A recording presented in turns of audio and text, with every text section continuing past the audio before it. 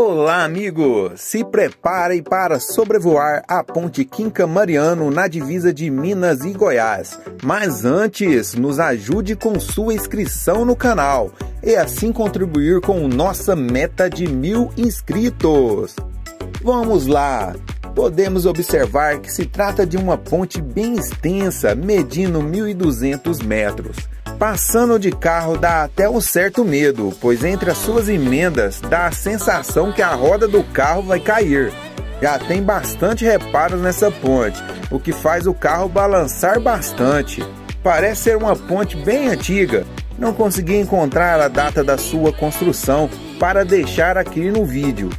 Essa ponte fica no rio Paranaíba.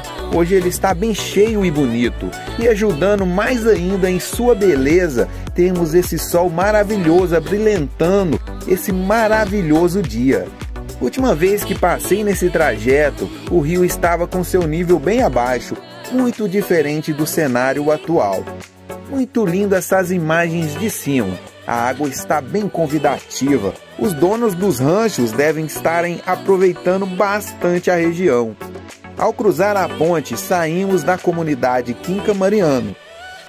Dica de viagem: se passar por aqui, não deixe de parar para comer um delicioso pastel. Muito bom mesmo esse pastel da ponte, viu? Ótimo local para fazer uma parada com a família, tem banheiro e um bom atendimento. Fica aí o vídeo com mais imagens da ponte Quinca Mariano. Aquele abraço!